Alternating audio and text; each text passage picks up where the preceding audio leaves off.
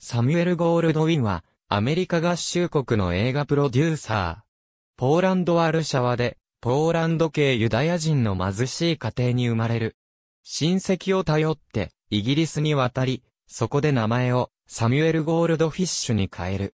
1898年に、アメリカに移住し、セールスの仕事に月成功を収める。1917年からプロデューサーとして活躍した。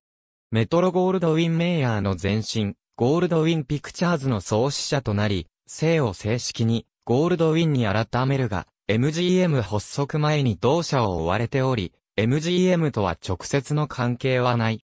その後、サミュエル・ゴールドウィン・プロダクションズを設立し、第二次世界大戦前後の映画の黄金期において、多くの映画の制作指揮を手掛けた。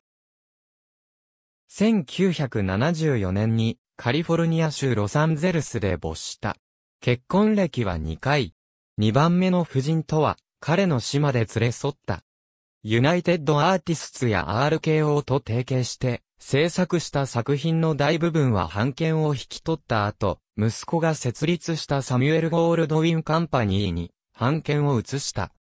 その会社が1997年に MGM に買収されたことから、現在、大部分の作品の版権を MGM が保有する。息子に、プロデューサーのサミュエル・ゴールドウィン・ジュニア。その息子に、プロデューサーのジョン・ゴールドウィン、俳優、映画監督のトニー・ゴールドウィン。ありがとうございます。